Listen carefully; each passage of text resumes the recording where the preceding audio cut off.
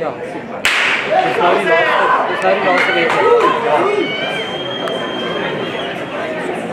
and gentlemen, going to. Let's see what's going to happen at this stage in scene lane number five. Serebe from Botswana. And at the inside, lane number two, Nikhale. At the 200 meter mark, it's 90, 20, 21, 22, 23 seconds. This is going to be a race at the